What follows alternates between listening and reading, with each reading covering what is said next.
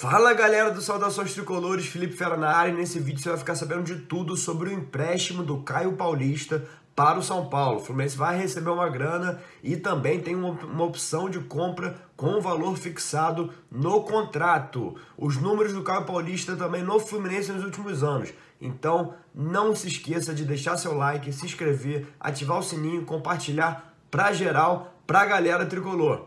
Só vem!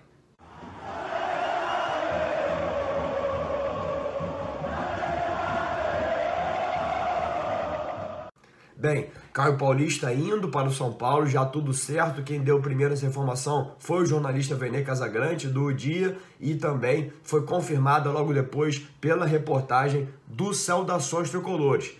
500 mil reais. Esse é o valor que o Fluminense vai receber apenas por esse empréstimo, tá?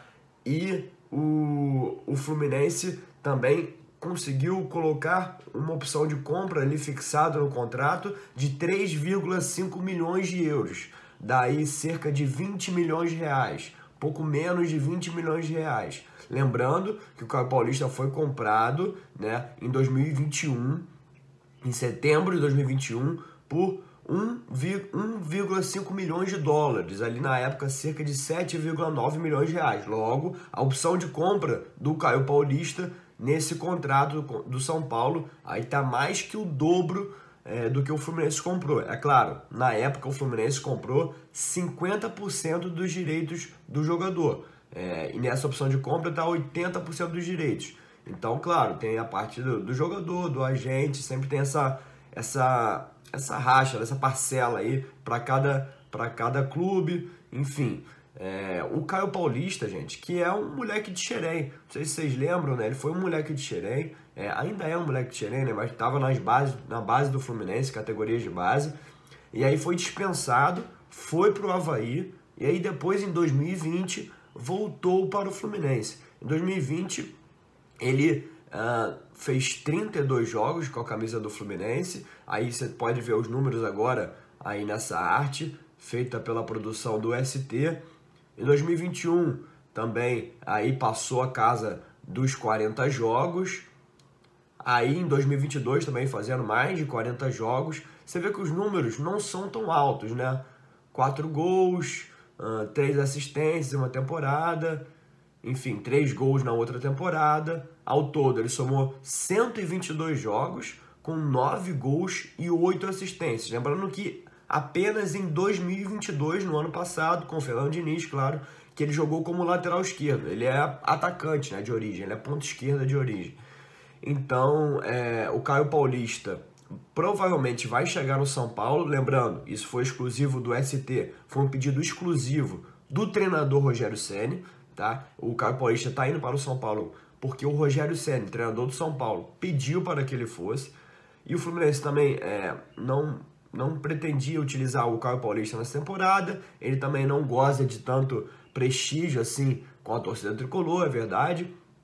Já há um bom tempo, né? É, mesmo sendo titular em boa parte da temporada do ano passado. Teve a contratação do Jorge, lateral esquerdo, então é, é, natural que ele perdesse um pouco mais de espaço. A gente espera que o Jorge seja titular. Calegari, nesse início de temporada, improvisado no lateral esquerdo, está indo bem. Enfim, então a gente, é, a gente aí o Cris Silva, tanto o Cris Silva quanto o Caio Paulista, o Fluminense não conta mais com eles para uh, ah, 2023. O Caio Paulista, o Cris Silva segue procurando o clube e agora o Caio Paulista se acertando com o São Paulo. É um empresário, eu vi muita gente comentando nas redes sociais, né, rapaz? O Caio Paulista conseguindo ir de um time grande para outro time grande. É, o empresário, o empresário dele é o Eduardo Duran, né? É, tem muitos jogadores, é um empresário de nome aí no mercado e conseguiu fazer essa boa transferência que eu acho que vai ser um bom empréstimo, tanto para o Fluminense quanto para o Caio Paulista, porque acredito que ele vai ter mais chance no São Paulo em 2023. A gente acha, né? É, pelo menos eu acho, minha opinião, que é improvável o São Paulo exercer essa opção de compra, mas quem sabe, né? Vai que o Caio Paulista arrebenta em 2023 no São Paulo, na lateral esquerda, e aí é, o São Paulo decida comprar o Caio Paulista aí por 3,5 milhões de euros, como eu disse, pouco menos de 20 milhões de reais. É, bem, trouxe os números do Caio Paulista e é importante falar também é, assim, a gente tá falando aqui do Caio Paulista, ele sempre foi, foi muito criticado pela torcida, ele teve uma boa Uh, boas, boas participações ali na Libertadores 2021, não sei se vocês lembram, chegou a fazer gol no River Plate, é, fez gol também no Santa Fé, naquela virada por dois anos no Maracanã, quando ainda estava sem público, né, durante a pandemia. Então foi um jogador nesses anos que, com diferentes técnicos, ainda foi, se não titular, foi colocado muitas vezes para jogar. Técnicos como o Odair, como o Roger, como o próprio Fernando Diniz, que eu acho que ele, esse teve mais sequência.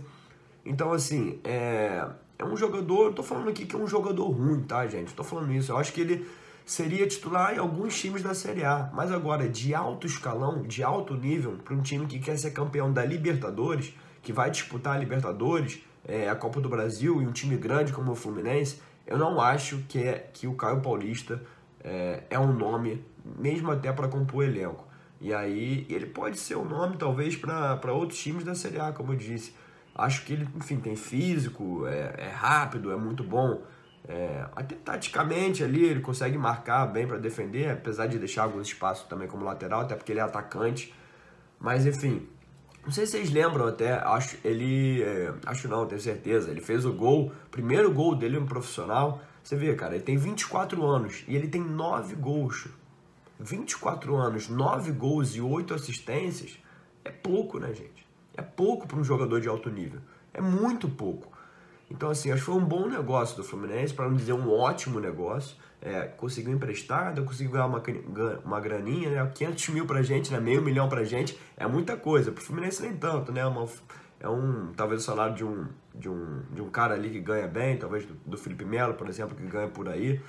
Então, é...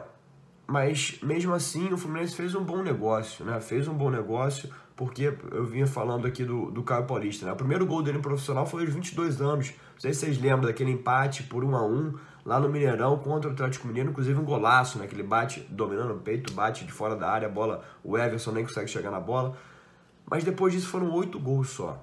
É, foram nove gols e oito assistências. Muito pouco, gente.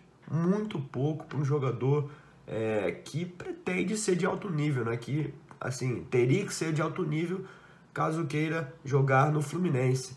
É, e também no São Paulo, acredito. O São Paulo é, também é um time grande, um time com a torcida grande. Enfim, é, esses são os números do Capoeirista nessas últimas temporadas. O Fluminense, como eu disse, tem 50% de direito de jogador, e aí essa opção de compra do São Paulo é de 3,5 milhões de euros por 80% dos direitos. E agora é, o Caio Paulista já está indo para o São Paulo. Você pode perguntar, mas fera, o Fluminense agora vai em busca do lateral esquerdo? Não, não acredito. Vai em busca de um atacante, de um ponta? Também não. Também não. O Fluminense, se for o mercado mais uma vez, só em questão de oportunidade de mercado. E aí, para um cara, uh, ou um segundo volante, tá? Ou uh, ah, para fazer sombra ali do Martinelli, ou um cara para o lugar é, do Natan que saiu, que seria o Vina, que acabou não, não acabou não acabou não vindo, né? Esse trocadilho mas que o Fluminense, o Diniz está gostando dos meninos da base, que estão subindo, que o Wagner joga naquela posição, o Arthur joga naquela posição, a gente vai vendo. Mas por enquanto o elenco é esse, tá? O elenco é esse. Não posso dizer que está fechado, não posso dizer, mas por enquanto o elenco é esse. Então, deixe seu like, esse foi mais um vídeo.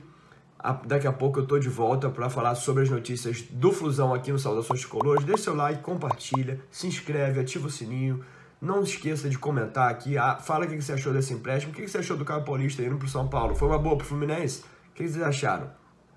Quem gosta do Caio Paulista? Quem não gosta do Caio Paulista? Comenta aqui embaixo no vídeo. Porque você sabe, saudações tricolores, aqui a informação é tricolor e a gente sempre vai buscar. Valeu e até a próxima.